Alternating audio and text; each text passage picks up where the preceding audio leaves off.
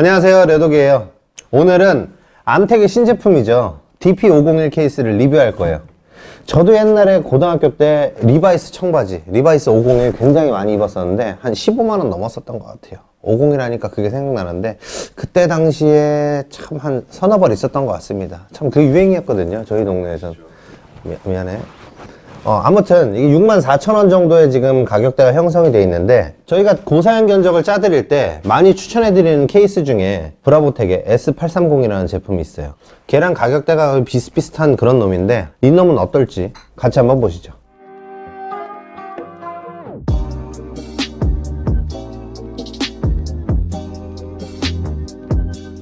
우선 케이스의 크기는 요 너비가 210mm 그리고 깊이가 443mm 높이가 484mm로 키가 큰 미들타워로 생각하시면 될 것 같아요. 전면은 겁나 깔끔하네요. 좌측 하단에 여기 통풍구가 있어서 이쪽을 통해서 공기가 들어가게 될 텐데 먼지 필터가 달려 있어서 먼지 걱정은 없지만 크기가 크기인 만큼 통풍구 역할을 제대로 해줄지가 조금 의문이긴 합니다. 그래도 이 통풍구 테두리를 따라서 LED가 나오는 거는 높은 점수를 주고 싶어요.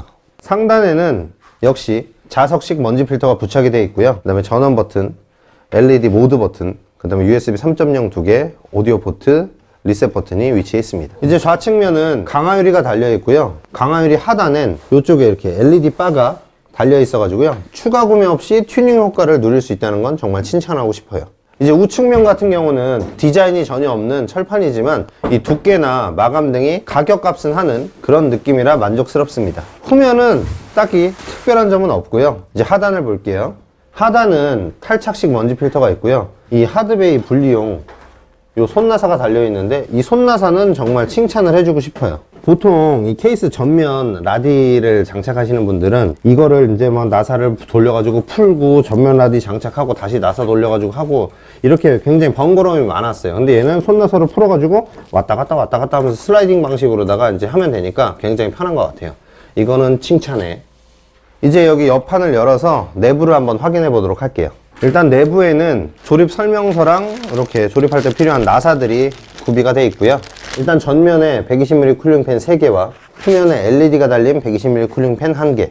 기본적으로 이렇게 4개의 쿨링팬이 들어가 있고요. 전면에는 이제 필요한 경우에 따라서 140mm 쿨링팬 2개로 변경이 가능하다고 합니다. 그리고 상단에도 마찬가지로 2개의 120mm나 140mm 쿨링팬을 지원을 하고요. 120mm로만 구성한다면 최대 하나, 둘, 셋, 넷, 다섯, 여섯 개 까지 구성을 할 수가 있겠네요. 수랭 라디에이터는 전면에 최대 360mm를 지원을 하고요. 그리고 상단에는 최대 280mm까지만 가능해요. 후면은 120mm 라디를 지원을 해서 기본적인 확장성은 모두 지원한다고 보시면 될 것 같습니다. 다만 360mm 수랭 라디에이터를 전면에다가 붙이면 이 하드 bay를 아래쪽에 있는 하드 bay를 제거해 줘야 하니까 그건 조금 아쉽습니다 이 제품의 공랭 CPU 쿨러 최대 지원 높이는 160mm라서 하이엔드 공랭 쿨러는 다음 기회로 미루셔야 될 것 같고요. 그리고 그래픽카드 최대 장착 길이는 360mm라서 공간은 충분하겠지만 만약에 전면에 라디를 하게 될 경우 공간이 줄어드는 건 이제 감안을 하셔야 될 것 같아요. 약 한 40mm 정도는 더 줄어들지 않을까? 30mm, 40mm 정도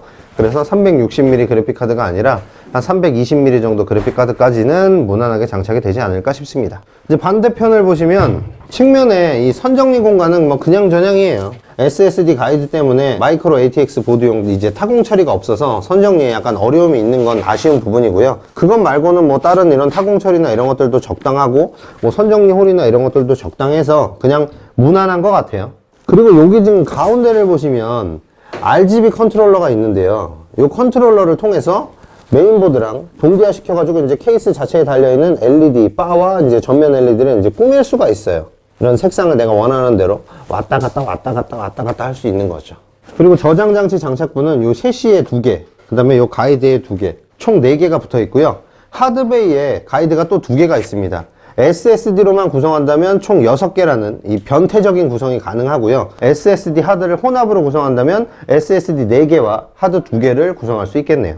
여기서 제가 다시 한번 말씀드리지만 전면에 360mm 라디에이터를 장착을 하면 이 하드베이는 분리를 해야 된다고 하니 이 점은 꼭 유의하세요 아무튼 간에 케이스 소개는 이 정도면 충분한 것 같고요 이제 조립된 모습을 여러분들께 보여드릴게요 아 오늘 왜 이렇게 배가 아프지? 네 일단 조립을 하고 왔습니다 지금 여러분들이 화면에는 어떻게 나오는지 모르겠지만 얘가 일반 화이트 케이스들보다 조금 더 쨍한 화이트 색상이라서 저처럼 조금 더 이렇게 화사한 그런 모습을 보이는 것 같아요. 이제 소리 집어치고요. 전원 켜가지고 어떤 모습일지 한번 보여드릴게요. 아 그리고 그 전에 이번 케이스 역시 지난번 저희가 pink and white 80만원대 PC 소개드렸을 때처럼 저희 막내가 조립을 했어요.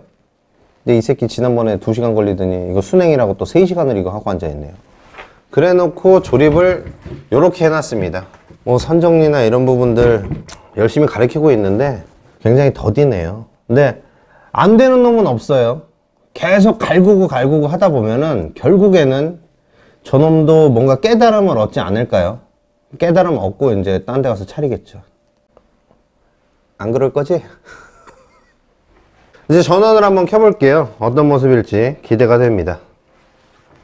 이런 식으로 전면부고요. 어, 측면 괜찮죠? LED도 이렇게 싹 나오고요. 내부 이렇게 돼 있어요. 뭐 블링블링하니 괜찮은 것 같고요. 이 제품도 요즘 나오는 다른 케이스들처럼 이 LED 버튼을 눌러서 이런 모드 변경이 가능합니다. 색상이나 이런 것들을 다 변경을 할 수가 있고요. 그리고 LED 버튼을 이렇게 2초 정도 꾹 누르고 있으면 이렇게 LED가 소등이 돼버립니다. 그래서 밤에 게임할 때 여기 좀 거슬리시는 분들은 이렇게 끄고서 하시면 될 것 같아요. 최근에 나오는 케이스들이 대부분 메시 타입으로 뭐 통풍 생각한다고 구멍 뻥뻥뻥뻥 다 뚫어가지고 이렇게 나오는데 그에 반해 얘는 조금 상반되게 디자인을 좀 강조한 그런 제품인 것 같아요. 아무튼 간에 오늘 저희가 준비한 영상은 여기까지고요. 영상이 마음에 드셨다면 구독과 좋아요, 알림 설정 부탁드리고요. 다음 영상에서 다시 만나요. 안녕. 아, 시체가 똥마려. 똥마려, 똥마려, 똥마려.